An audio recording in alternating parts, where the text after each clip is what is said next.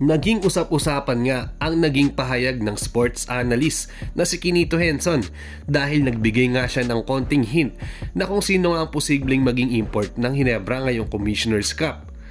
At si Tony Bishop nga ang isa sa candidate daw na maglalaro sa kanila dahil sa versatility at pasok nga siya sa system daw ng Barangay Hinebra. At Maverick Aham Nisi, excited na nga maglaro sa Barangay Hinebra at makakuha ng championship pero bago nga ang lahat, Magsisimula na nga ang NBA at PBA season mga ka-sports. Pwede kayong tumaya dito sa 1xBet. Nasubok na at easy cash out. Makakakuha nga kayo ng up to 7,800 sa first deposit kapag ginamit nyo nga ang promo code ko na XO Sports pag nag-register kayo. Madali lang din mag-cash in dito using GCash or bank transfer sa minimum of 50 pesos lang.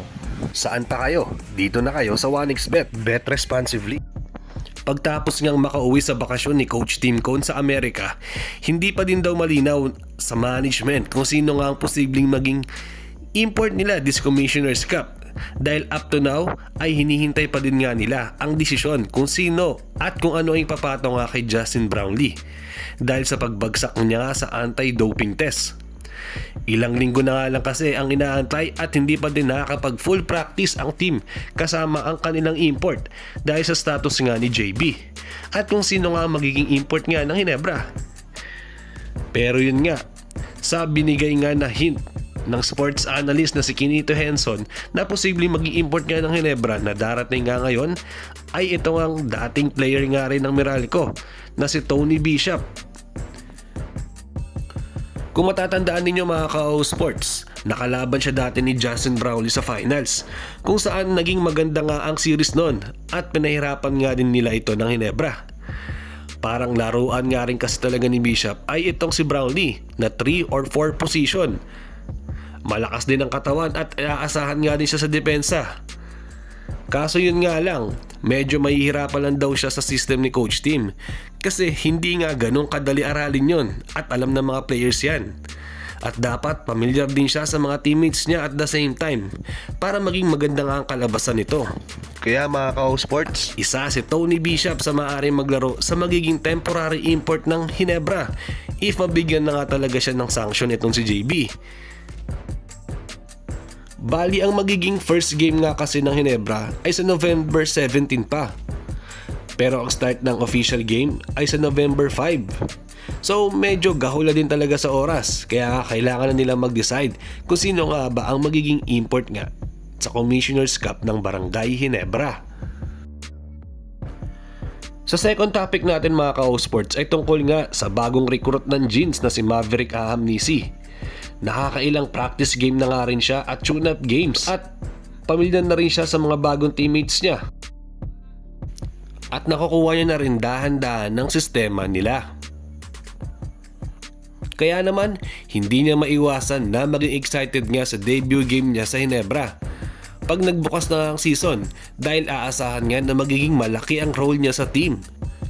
Baka kasi siya na nga ang mabigyan ng mahabang playing time dahil injury nga ngayon itong si Jeremiah Gray. Baka din mag 3 guard combo ang Hinebra ngayon dahil kapos at madami pa din ang nasa injuries sa kanila. Knowing na hindi nga ganong kaganda ang nilalaro ni Stanley Pringle dahil sa injury na dinanas siya dati at parang naiilang pa rin hanggang ngayon. Si Tenorio naman mga ka-O-Sport sa malamang magiging limited pa din nga ang minutes niya sa jeans dahil kaka-recover niya pa nga lang sa cancer at papakiramdaman pa din niya ng team. Kaya magiging point guard nga ngayon nila siguro ay itong si Scottie Thompson. Tapos sa second position naman itong sa at third ay itong si Malonzo at Aham Nisi.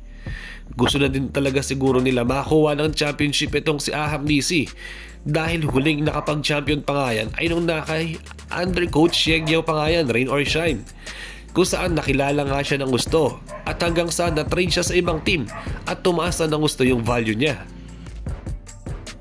Sabi pa nga niya dati itong ni Aham Nisi, hanggat maaari ay ayaw niya sana maglaro sa Inebra kasi mas nasa-challenge nga siya kapag kalaban niya nga ang crowd dahil lagi nga siya nitong binubu. Pero ngayon, magiging iba na daw ito at hindi niya daw pa din alam kung ano ang feeling kapag siya naman daw ang chinicheer ng Hinebra crowd. First time niya lang din kasi makakapaglaro under SMC Company. So, sobrang excited niya daw talaga.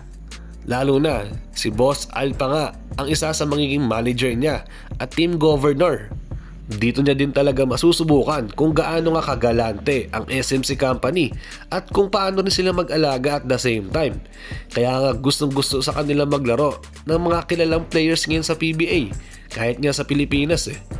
Kasi bukod sa galante sila, ay maganda rin daw silang makisama sa mga players. Pero kayo ba mga ka-sports, pabor ba kayo if si Tony Bishop nga ang magiging import ng Ginebra this Commissioner's Cup? If hindi talaga mapagbigyan at makapaglaro si Brownlee? Mag-comment lang kayo sa baba. Hanggang dito na lang muna tayo at salamat sa panonood. Mag-ingat kayo palagi. Bye-bye!